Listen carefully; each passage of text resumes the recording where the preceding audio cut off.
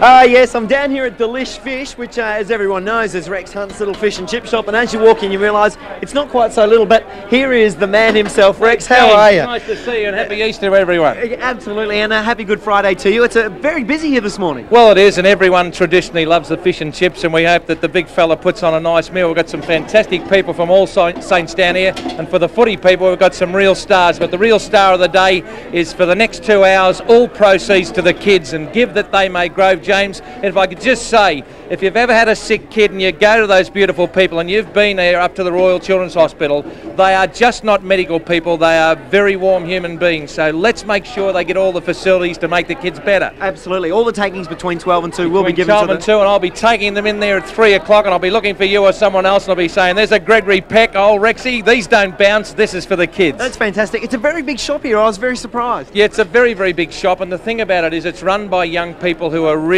keen to get on in life. And fish and chips has been traditionally on the corner of every suburban shopping centre and that sort of thing. So we decided to open up a boutique fish and chip shop, and the people, I tell you what, they've come out of here from the woodwork. They said to me on the way here, they said, watch out for Rex because he just talks and talks and talks. You've really got to, you got to keep an eye out for him. And I, I see what they mean now. Well, I don't know, James. I'm sort of caught for a few words. They said I could talk underwater with a mouthful of marbles. I tell you what. But when I'm passionate about something, I'm really passionate. Oh, James. Oh, no, no, don't get passionate. I think you're burning your calamari. I better let you get back to it.